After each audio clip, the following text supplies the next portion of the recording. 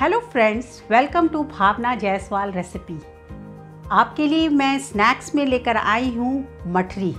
मठरी सुनते ही आपके दिमाग में ये आ रहा होगा कि ये वही मैदे की मठरी होगी सेम नहीं। बिल्कुल मैं चेंज लेकर आई हूँ आपके लिए और वो है आटे की मठरी।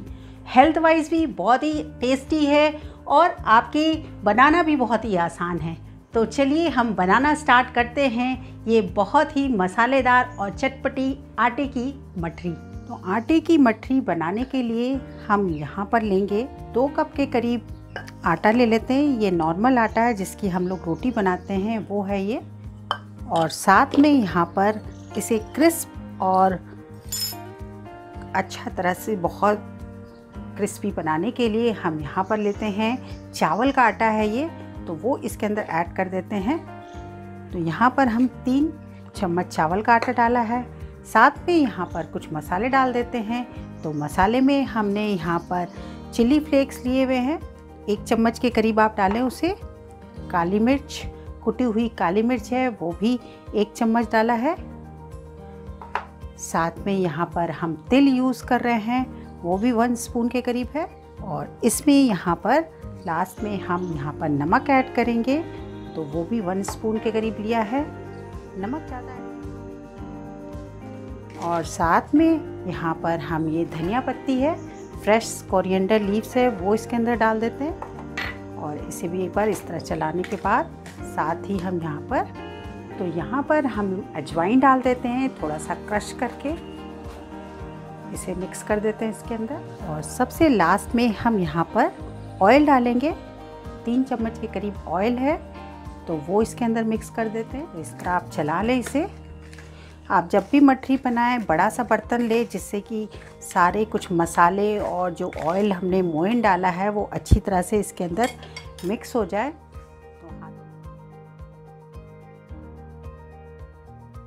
तो यहाँ पर थोड़ा सा ऑयल कम लग रहा है क्योंकि बंद नहीं रहा है। तो यहाँ पर हम दो चम्मच के करीब और ऑयल डाल देते हैं।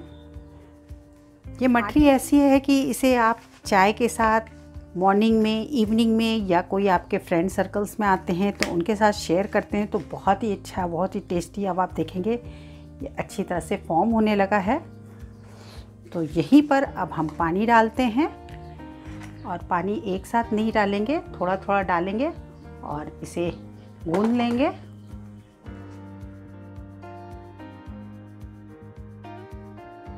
हमें यहाँ पर आटा जो लगाना है मट्ठी का वो थोड़ा सा हार्ड लगाना है बहुत ही सॉफ्ट नहीं लगाना है। तो जब भी आप इसके आटे गूंदे तो पानी बहुत कम कम डालें और इसे दबा दबा कर ही थोड़ा आप आटे को गूंदे। इस तरह आप देखेंगे इसे मैं दाब रही हूँ इसी तरह दाबे।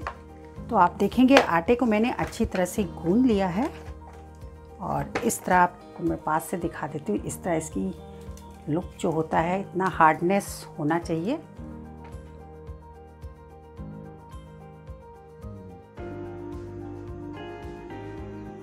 इस तरह इसको हम यहाँ पर छः लोई बना लेते हैं। डिवाइड कर लिया है बिल्कुल। और अब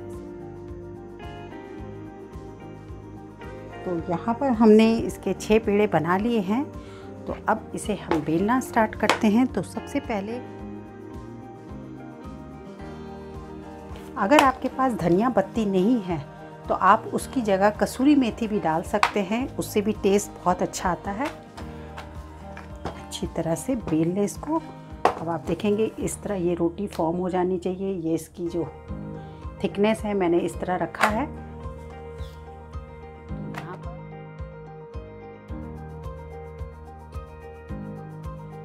तो यहाँ पर आप देखेंगे, मैंने छः रोटियाँ बना ली है। जितनी लोइयाँ काटी थी, उतनी हमने रोटियाँ बना ली है तो अब चलते हैं। के बाद इसके अंदर ऊपर हम ऑयल लगाएँगे। तो आप स्पून की हेल्प से या अपने हाथों की हेल्प से आप ऐसे लगा लें। और साथ में यहाँ पर हम आटे को स्प्रेड कर देते हैं। ऊपर थोड़ा सा आटा डाल देते हैं, जिससे कि जो लेयर है ना, खुलकर निकलेगी और अच्छी तरह से उसी तरह सेकंड वाला भी हम डाल देते हैं इसके ऊपर। बिल्कुल इस तरह रोटी को रख देते हैं और हल्का सा प्रेस करते हुए सेम अगेन सेम प्रोसीजर हम करेंगे।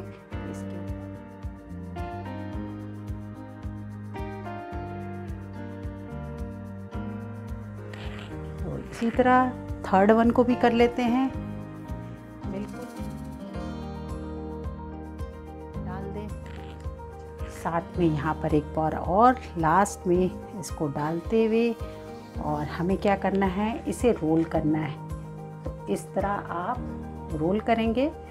इस तरह दबाते हुए हल्का सा, हल्के हाथों से आप इस तरह दबा लें। बिल्कुल। इस तरह आप दबाएँगे और आप देखेंगे, बढ़िया ये फॉर्म हो गई है। और थोड़ा सा इसे आप प्रेस कर दें, हल्का सा। इस तरह रोल कर दीजिए, जिससे कि ये खुले नहीं। बिल्कुल, बनकर ये इस तरह हम दूसरे पराठे को भी बना लेते हैं। तो आप देखेंगे, यहाँ पर दो बड़े बड़े लंबे लंबे शेप्स के सिलेंड्रिकल बनकर तैयार हो गए हैं। तो यहीं पर इसे हम कट कर लेते हैं।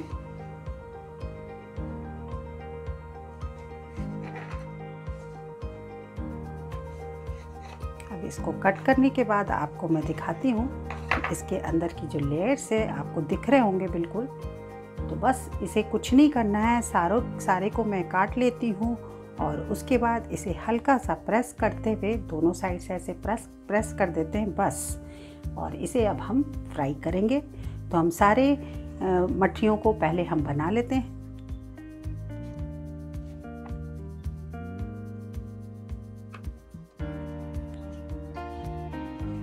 तो आप देखेंगे मैंने सारी मठरियों को बना लिया है।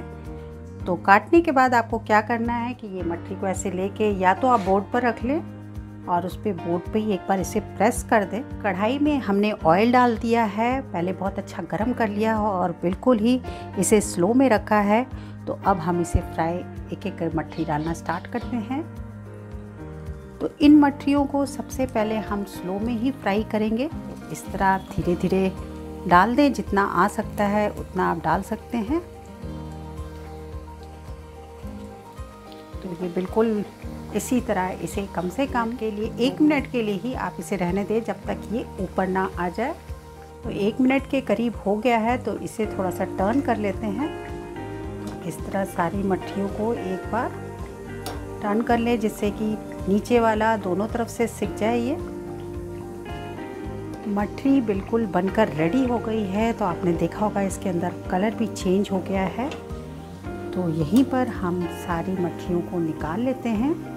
गैस को बिल्कुल स्लो रखें यहाँ पर और इसे एक प्लेट में निकाल लेते हैं। इस तरह ये देखिए, ये बनकर बिल्कुल और आपको लेयर्स भी इसके अंदर दिख रहे होंगे। इस तरह बनकर रेडी हो गया है। तो चलिए बाकी जो बचे हुए मट्ठियाँ हैं, उसको भी हम फ्राई कर लेते हैं।